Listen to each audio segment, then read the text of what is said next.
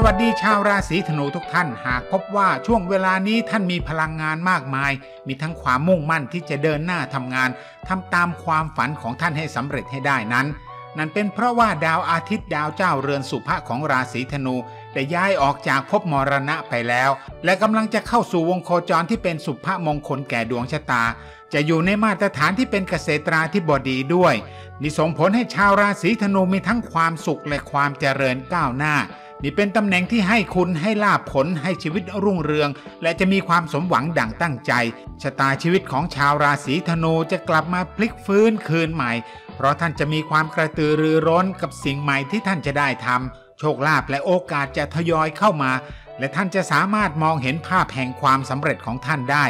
สังเกตได้จากดาวเจ้าเรือนปุตตะที่กำลังเปลี่ยนตำแหน่งมาอยู่ในมาตรฐานทางดวงดาวที่เป็นมหาจักรที่ส่งเสริมเจ้าชะตาเป็นที่สุด ขอให้ท่านตั้งใจ และจงอย่าให้โอกาสนี้หลุดลอยไปได้นะครับ ช่วงเวลานี้ท่านจะมีการเดินทางเข้ามาเกี่ยวข้องอยู่ด้วย ทั้งการเดินทางไกล และระยะทางใกล้ๆการเดินทางไปทำบุญ ไปตามสถานที่ศักดิ์สิทธิ์ทั้งหลาย และการเดินทางไปท่องเที่ยวตามสถานที่แปลกใหม่เพื่อเปิดหูเปิดตา ก็รวมอยู่ในกิจกรรมนี้ด้วยเดือนสิงหาคมนี้ถึงแม้ว่าท่านจะยังมีภาระหน้าที่มากมายอยู่ก็จริง แต่ราศีธนูจะมีคนเข้ามาแบ่งเบาหน้าที่ให้ท่าน บวกกับไหวพริบและความสามารถในการเจราจาของท่านอีก ท่านก็จะสามารถเอาชนะอุปสรรคหรือปัญหาเหล่านั้นได้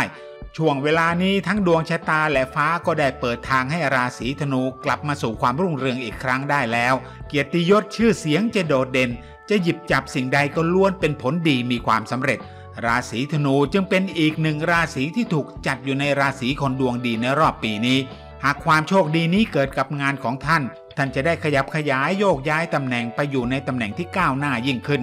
งานยากที่ไม่มีใครกล้าทำแต่ชาวราศีธนูสามารถทำได้ นี่ก็เป็นโอกาสที่ชาวราศีธนูจะได้แสดงฝีมือ ไม่มีคำว่าตกงานหากท่านต้องการเปลี่ยนงาน ส่วนคนทำมาค้าขายรายได้จะพุ่งสูงขึ้น แม้นมีหนี้สินค้างคาก็จะสามารถปลดหนี้สินจำนวนนั้นออกไปได้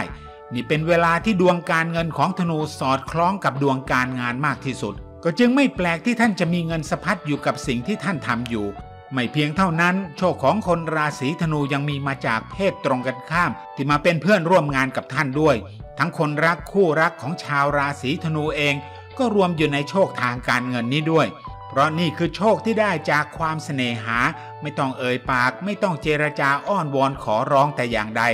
แต่ท่านจะได้มาด้วยความเต็มใจของผู้ให้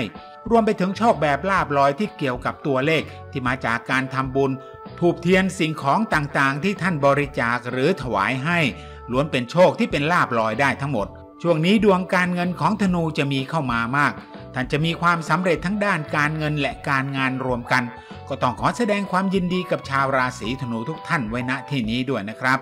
และสุดท้ายก็คือสิ่งใดที่ท่านควรเอาใจใส่และต้องระวังในช่วงเวลานี้ นั่นก็คือท่านต้องไม่ประมาทว่า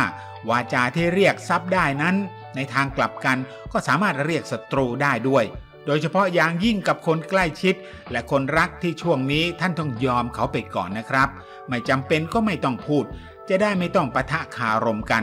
สุขภาพก็มีบ้างเช่นกัน เพราะท่านจะมีความเครียดรวมอยู่ด้วย ก็ขออนุญาตแนะนำท่านประมาณนี้นะครับ ด้วยความปรารถนาดีจากทีมงานของเราทุกคน และขอบคุณทุกท่านที่ติดตามชม